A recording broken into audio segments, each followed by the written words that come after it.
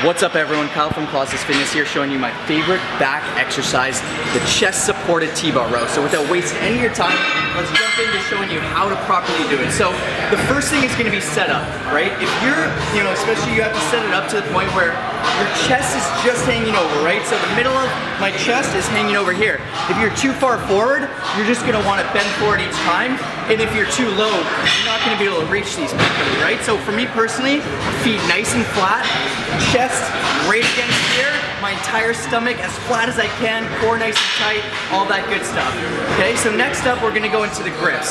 This wider grip one, and I know every gym is a little bit different, but this one's gonna get a little bit more of the upper back, kind of get rear delts a bit more, and here's just gonna get more mid back. For me personally, this is the strongest position. I like to use this grip here.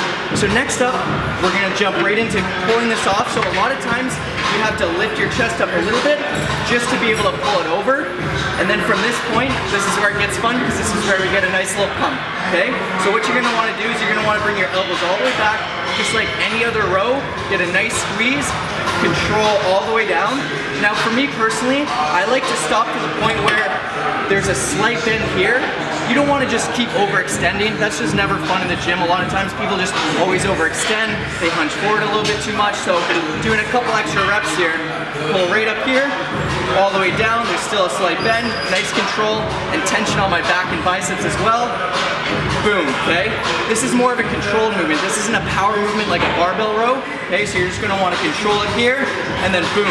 Now, one of the biggest common mistakes as well, number two, is just constantly feeling the need to bring your chest off the pad. That happens a lot when you try to do weight that you can't control.